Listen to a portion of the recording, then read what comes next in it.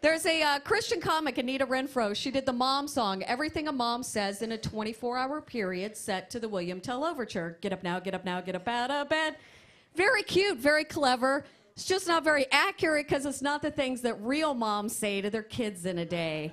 And maybe there's some things, you know, she can't say because she's a Christian in the public eye, but I'm a comic on a stage and I can say those things. So if I can share it with you, Louisville, give me a big hell yeah. That makes me so happy the church group said hell yeah in public. okay, here we Okay, some of them didn't say it. Here we go. Mom song the way it should have been done. Here's a phone, here's a phone. Go ahead and call Child Protective Services. I'm still going to beat your ass. You have no idea what abuse really is. move your butt, move your butt. I don't have all day. Pick it up or I'll throw your shit away.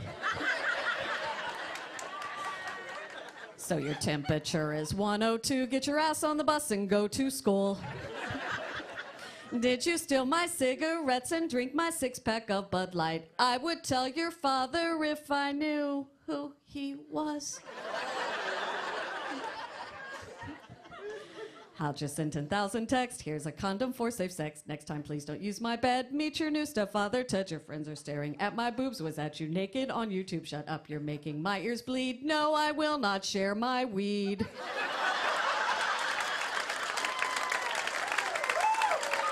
Thank you. Always love the mothers enthusiastically cla- clapping. You've said that to your kids, haven't you? Get out of mommy's Go buy your own pot, you little bastard.